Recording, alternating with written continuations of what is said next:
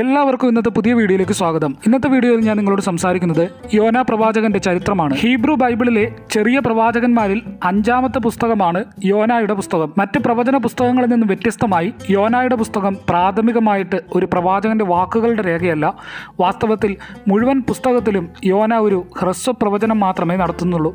പകരം ദൈവത്തിന്റെ വിളിയെ ചെറുക്കുന്ന എന്നാൽ ഒടുവിൽ ശത്രു നഗരമായിട്ടുള്ള നിലവയിലേക്ക് നാശത്തിന്റെ സന്ദേശം കൊണ്ടുവരുന്ന വിമുഖനായിട്ടുള്ള പ്രവാചകന്റെ കഥയാണ് പുസ്തകം പറയുന്നത്. നഗരം അനുദപിക്കുമ്പോൾ ദൈവം അവരോട് കരുണ കാണിക്കുന്നു. പഴയ നിയമത്തിലെ അമിതായുടെ മകനായിട്ടുള്ള യോന യോനായുടെ പുസ്തകത്തിലും രണ്ടു രാജാക്കന്മാർ പതിനാലിന്റെ ഇരുപത്തഞ്ച് എന്നീ ഭാഗങ്ങളിൽ മാത്രമാണ് പരാമർശിക്കപ്പെട്ടിട്ടുള്ളൂ.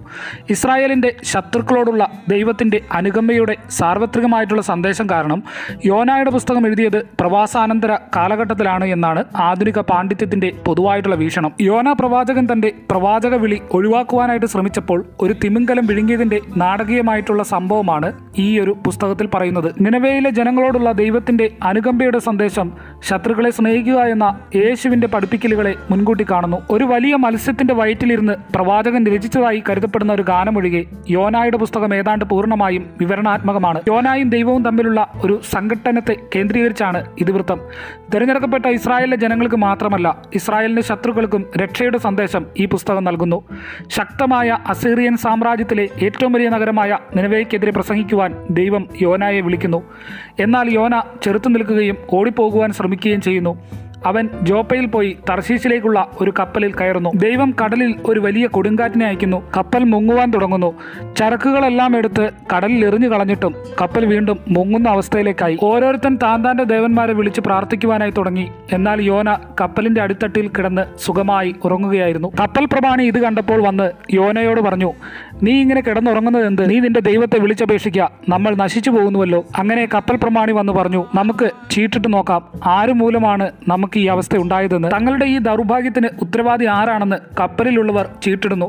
അങ്ങനെ യോനായ്ക്ക് ആ ചീട്ട് വീഴുകയാണ്. കപ്പൽ പ്രമാണി അവനോട് ചോദിച്ചു നിന്റെ തൊഴിൽ എന്താണ് നീ എവിടെ നിന്ന് വരുന്നു? യോനെ അവരോട് പറഞ്ഞു ഞാനൊരു എബ്രായനാണ്. കടലിനെയും കരയെയും നിർമ്മിച്ചവനായ യഹോവയായ ദൈവത്തെ ഞാൻ ആരാധിച്ചു വരുന്നു. ദൈവിക ആലോചനയ്ക്ക് വിരുദ്ധമായി തർശീശിലേക്ക് ഞാൻ യാത്ര ചെയ്തുകൊണ്ടാണ് നിങ്ങൾക്ക് ഇത്തരമൊരു അവസ്ഥയുണ്ടായത്. തന്നോടുള്ള ദൈവകോപം മൂലമാണ് ഈ ഒരു പ്രതിസന്ധി ഉണ്ടായതെന്ന് യോന കപ്പലിലുള്ളവരോട് പറയുന്നു. തന്നെ എടുത്ത് കടലിലേക്ക് എറിഞ്ഞു കളയുവാനായിട്ട് യോന അവരോട് പറയുകയും ഇതിന്റെ പാപം തങ്ങളുടെ മേൽ വരരുതെന്ന് അവർ പ്രാർത്ഥിച്ചുകൊണ്ട് യോനയെ എടുത്ത് കടലിലേക്ക് എറിയുകയും ചെയ്യുന്നു. ദൈവം അയച്ച ഒരു വലിയ മത്സ്യം യോനയെ വിഴുങ്ങുന്നു.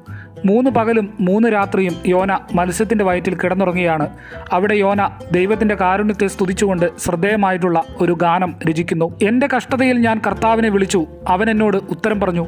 പാതാളത്തിന്റെ ആഴങ്ങളിൽ നിന്നും ഞാൻ സഹായത്തിനായി വിളിച്ചു. നീ എന്റെ നിലവിളി കേട്ടു. യോനായുടെ പ്രാർത്ഥനയാൽ പ്രേരിതനായി ദൈവം മത്സ്യത്തോട് കൽപ്പിക്കുന്നു. അത് യോനായെ ഉണങ്ങിയ നിലത്ത് സുരക്ഷിതമായി ഛർദ്ദിക്കുന്നു. തന്റെ രക്ഷയുടെ ശേഷം നിലവേക്കെതിരെ പ്രവചിക്കുവാനുള്ള ആഹ്വാനം യോന അനുസരിക്കുകയാണ്. അവന്റെ വാക്കുകൾ ലളിതമാണ്. നാൽപ്പത് ദിവസം കൂടി കഴിഞ്ഞാൽ നിലവെ ഉന്മൂലമാക്കപ്പെടും.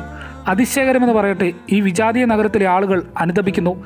അതിലെ രാജാവ് ഉടൻ തന്നെ തന്നെ തന്നെ താഴ്ത്തി പശ്ചാത്തപിച്ചു. നിലവേക്കാർ ദൈവത്തിൽ വിശ്വസിച്ചു ഒരു ഉപവാസം പരസ്യം ചെയ്തു. വലിയവരും ചെറിയവരും ഒരുപോലെ രട്ടെടുത്തു. വർത്തമാനം നിലവേ രാജാവിന്റെ അടുക്കൽ എത്തിയാറെ അവൻ സിംഹാസനത്തിൽ നിന്നും എഴുന്നേറ്റു. രാജവസ്ത്രം നീക്കിവെച്ചു രട്ടുപുതച്ച് വെണ്ണീറിലിരുന്നു. അവൻ നിലവയിലെങ്ങും ഘോഷിപ്പിച്ച് പരസ്യമാക്കിയതെന്നാൽ രാജാവിന്റെയും അവന്റെ മഹത്തുക്കളുടെയും ആജ്ഞയാവിത്. മനുഷ്യനോ മൃഗമോ കന്നുകാലിയോ ആടോ ഒന്നും ഒരു വസ്തുവും ആസ്വദിക്കരുത്. മേയുകയും വെള്ളം കുടിക്കുകയും അരുത്. മനുഷ്യനും മൃഗവും രട്ടുപുതച്ച് ഉച്ചത്തിൽ ദൈവത്തോട് വിളിച്ചപേക്ഷിക്കണം. ഓരോരുത്തൻ താന്താന്റെ താന്റെ ദുർമാർഗവും താന്താന്റെ താന്റെ കൈക്കലുള്ള സാഹസവും വിട്ട് മനം തിരികയും വേണം. ദൈവം വീണ്ടും അനുദപിച്ച് നാം നശിച്ചു പോകാതെ ഇരിക്കേണ്ടതിന് അവന്റെ ഉഗ്രകോപം വിട്ടുമാറുമായിരിക്കും. അവർ ദുർമാർഗം വിട്ടുതിരിഞ്ഞുവെന്ന് ദൈവം അവരുടെ പ്രവർത്തികളാൽ കണ്ടപ്പോൾ താൻ അവർക്ക് വരുത്തുമെന്ന് അരുളി ചെയ്തിരുന്ന അനർത്ഥത്തെക്കുറിച്ച് ദൈവം അനുദപിച്ചു. അത് വരുത്തിയതുമില്ല. യോന നിലവേ നഗരത്തിന് കിഴക്കായി ഒരു കുടിലുണ്ടാക്കി. നഗരത്തിന് എന്ത് സംഭവിക്കുമെന്ന് നിരീക്ഷിക്കുന്നതിന് വേണ്ടി അവിടെ തണലിൽ പാർത്തു. പൊള്ളുന്ന ചൂടിൽ നിന്നും യോനായ്ക്ക് തണലേകുവാൻ ദൈവം ഒരു ദിവസം കൊണ്ട് അത്ഭുതകരമായിട്ടുള്ള ഒരു ആവണക്കിനെ വളർത്തി. പക്ഷേ അടുത്ത ദിവസം തന്നെ ദൈവം ഒരു പുഴുവിനെ കൽപ്പിച്ചാക്കി ആവണക്കിനെ കുത്തിക്കളയുവാൻ.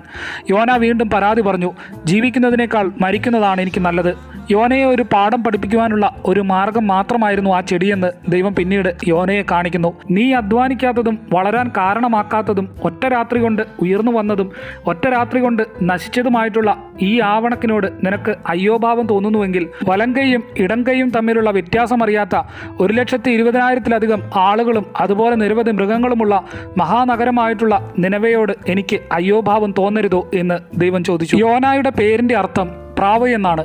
എന്നാൽ മിക്ക പ്രവാചകന്മാർക്കും വീരനാമങ്ങൾ ഉണ്ടായിരുന്നു. ഉദാഹരണം യഷയ്യാവിന് ദൈവം രക്ഷയാകുന്നു. പുസ്തകത്തിലെ മറ്റൊരു പ്രധാന കഥാപാത്രമായിട്ടുള്ള ദൈവം പൂർണമായും സജീവമാണ്.